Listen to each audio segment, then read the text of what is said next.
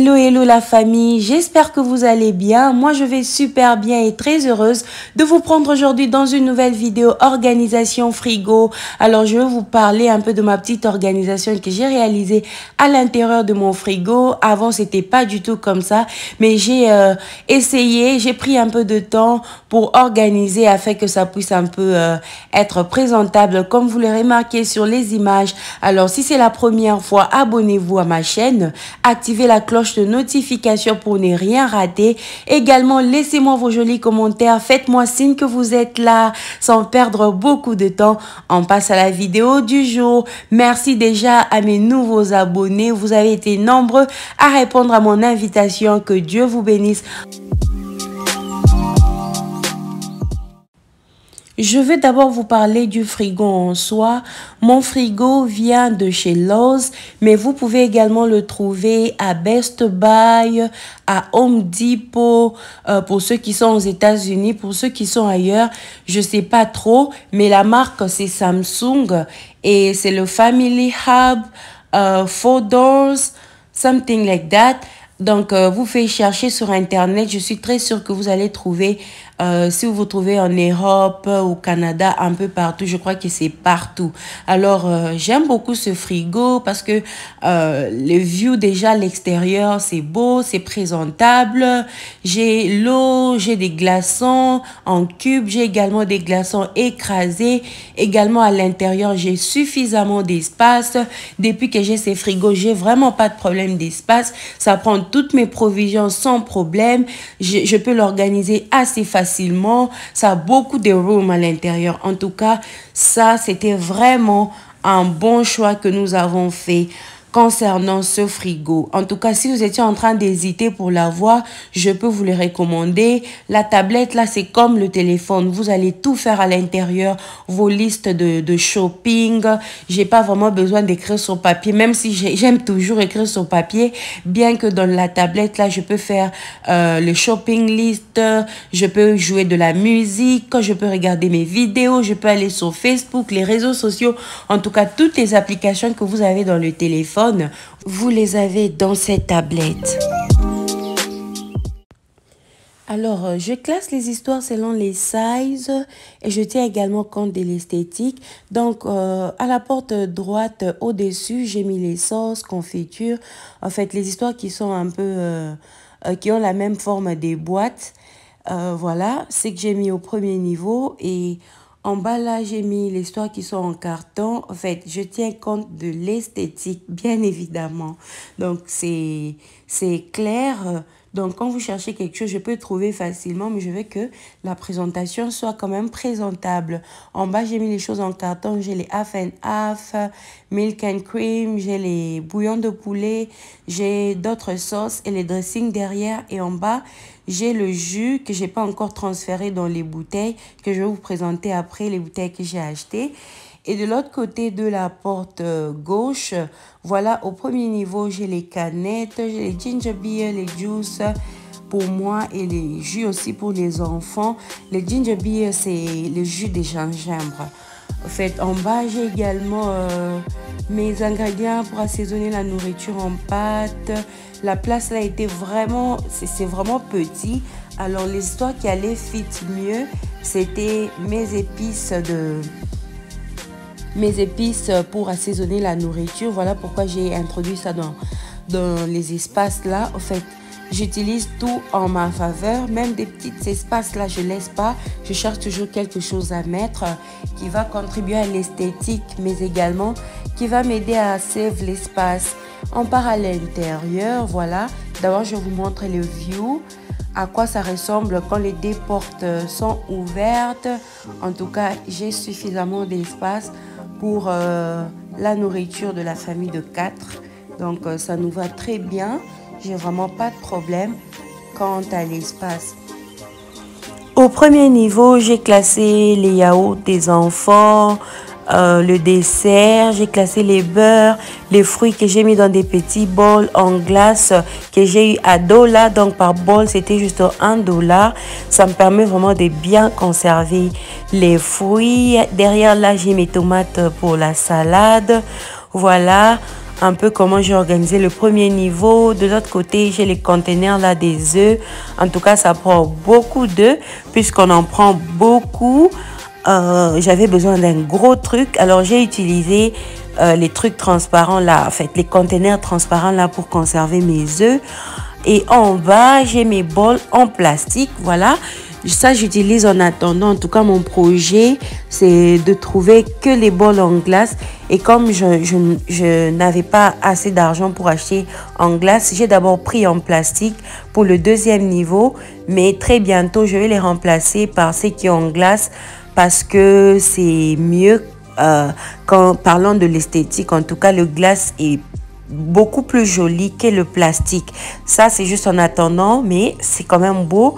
Ça m'a permis de bien organiser les fruits à l'intérieur de ces bols-là. Euh, la nourriture, les leftovers.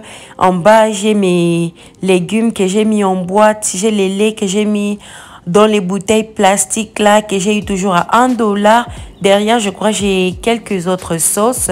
En fait, euh, les légumes là, j'ai mis dans les bouteilles en glace, j'ai mis de l'eau à l'intérieur. C'est juste pour permettre à ce que ça se conserve plus longtemps. J'ai appris cette recette auprès de Nelly et depuis je suis accro, ça m'aide beaucoup. Alors euh, j'ai mis les quelques bouteilles d'eau. En bas, j'ai des légumes. Voilà, on va ouvrir pour voir ce que j'ai comme légumes à l'intérieur. D'abord, je vais vous parler des sérums là, là où il y a les légumes. En fait, vous faites contrôler la température. Là où il y a les tomates, j'ai mis la température, l'humidité en high. Donc, euh, une forte humidité pour permettre de conserver les avocats, euh, mes raisins, mes tomates. J'ai des mangues derrière là. Et de l'autre côté où il y a les citrons et les les bell peppers, j'ai mis en low. Donc, euh, je peux gérer la température de ces chambres-là selon les produits que j'ai mis à l'intérieur. Voilà, il paraît que c'est aussi, c'est pas bien de mettre les citrons dans, euh, dans le foie, mais moi je mets quand même parce que je n'aime pas laisser beaucoup de choses à l'extérieur. Je n'aime pas que la cuisine soit encombrée. Les top là, j'aime que ça reste vide, que ça reste clean et c'est plus joli pour moi. Voilà pourquoi j'aime mettre les choses soit dans les armoires, soit au frigo.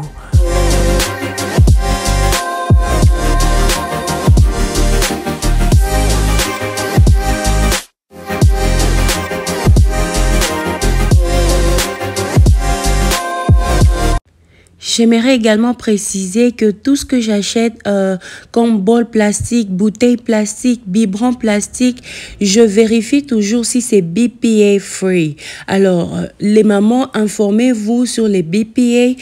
En fait, c'est une substance qui est utilisée pour fabriquer euh, les, histoires plastiques, les boîtes de conserve, boîtes de lait, biberons. Quand vous achetez les choses de vos enfants, rassurez-vous que c'est les BPA free parce que les BPA là, c'est une substance qui cause beaucoup de maladies, beaucoup de maladies, notamment les cancers, surtout chez les enfants moins de 2 ans. En tout cas, allez sur Google, tapez BPA, donc B PA. Vous allez lire, vous allez vous informer et quand vous achetez les choses plastiques, vérifiez que cette substance ne se retrouve pas dans le plastique que vous achetez. Une façon simplement de protéger votre famille. La prochaine fois, avant d'acheter un truc plastique, maman, rassure-toi que c'est écrit BPA free, que le bisphénol A ne se retrouve pas dans la fabrication de ce produit-là. C'est juste pour protéger nos familles.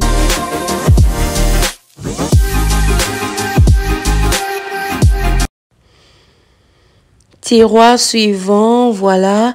Ici, j'ai mes carottes, mes concombres, j'ai mes tomates pour la salade également, j'ai de la salade, les lectus, euh, les choux-fleurs, les burrito bread. En fait, c'est ce que j'ai un peu ici. Ici, ça prend pas la glace, c'est juste de la fraîcheur. Donc, euh, c'est vraiment les lieux idéaux pour garder les légumes comme les choux, voilà, les concombres. On va descendre. Euh, tiroir suivant. Ici, j'ai les viandes, les pondous, les pains aux graines que j'ai conservés. Voilà, hum, j'ai un peu tout, un peu tout. Tout ce qui peut faire du désordre dessus là et qui peut être glacé, congelé. Je mets ça en bas ici. Là, j'ai les légumes j'ai divisé dans des petits sachets. J'ai les ground beef, j'ai des saucisses, les frites, les poissons, les brocolis. Et si je mets un peu tout. Donc, euh, je classe les histoires qui sont dans les plastiques. Je les superpose pour gagner un peu de l'espace. En bas, j'ai les pains aux graines. Donc, euh, quand je sais que je ne vais pas finir ça, donc je mets dans les frigos, je peux manger au fur et à mesure. J'ai les dinner rolls que je peux juste euh, chauffer euh, au four. Donc, c'est assez facile à chauffer. J'ai les viandes, les pondous, voilà. Il y a un peu de tout. Je crois que c'est la fin. c'est un peu de cette façon que j'organise mon frigo. Vous savez comment je range la nourriture, comment je range les œufs, tout ce que j'ai dans mon frigo comme food. Donc, euh, j'espère que ça vous a inspiré, ça vous a donné les idées, ça a complété. N'oubliez pas de faire des recherches sur euh, le bisphénol et si c'est la première fois que vous entendez parler de ça, c'est très, très important. Nous voyons beaucoup de maladies. Les enfants avec les cancers, c'est parce que les mamans ne sont pas informées. Alors, informez-vous, c'est très important.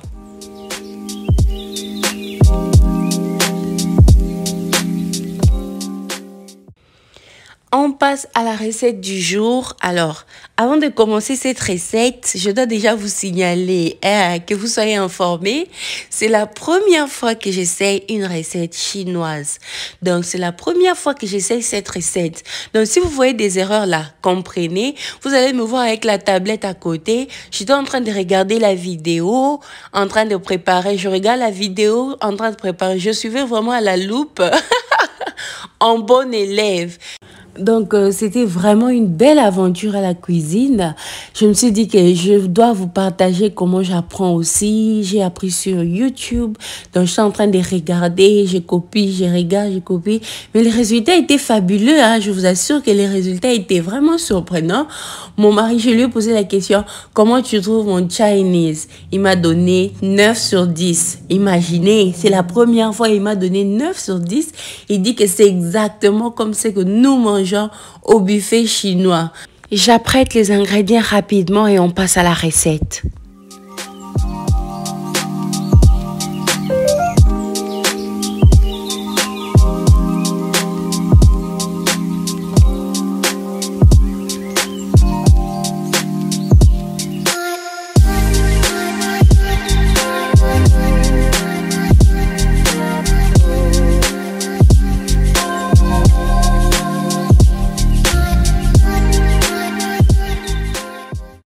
Alors, j'ai terminé d'apprêter mes ingrédients. J'ai fait bouillir l'eau au feu et j'ai euh, mis mes brocolis à l'intérieur pour 5 minutes. Vous n'êtes pas obligé de faire comme moi. En fait, moi, j'ai fait ça parce que je voulais que les brocolis soient tendres. Les brocolis et les haricots, là, quand c'est vraiment cru, cru, j'ai du mal à manger ça. Donc, j'ai mis le brocoli dans, au feu pendant 5 minutes j'ai tamisé. C'était pas trop cuit, mais c'était quand même devenu tendre. Donc les brocolis, les carottes et les haricots, c'est devenu tendre. J'ai également cuit mes noodles et j'ai réservé à côté. Là, je vais mettre l'huile l'huile d'olive. Vous pouvez utiliser l'huile végétale, mais moi, j'ai préféré utiliser l'huile d'olive. J'ai passé l'huile au feu. Je vais faire suivre mes oignons. Voilà, je vais tout vous expliquer au fur et à mesure. Je fais d'abord suivre les oignons dans mon huile d'olive et on continue avec les explications. En fait, j'étais en train de suivre la recette euh, dans ma tablette et moi, je faisais que copier. C'était la première fois que j'essaie cette recette. Donc, j'ai essayé en direct avec vous. Donc, si c'est pas joli à la fin là, ne me jugez pas. C'était la première fois. J'ai essayé. Quand je vais essayer pour la deuxième fois, ça pourra se perfectionner. D'accord? Merci déjà parce que je sais que vous n'allez pas me désappointer. Vous allez me soutenir, vous allez m'encourager puisque j'ai juste essayé. Après les oignons, j'ai fait suivre euh, les belles peppers, les rouges. Donc, vous pouvez utiliser les verts, ça dépend de vous. Moi, j'ai préféré le rouge. Je fais suivre les spring onions. Je ferai suivre également de l'ail. Je crois, oui, je vais mettre de l'ail.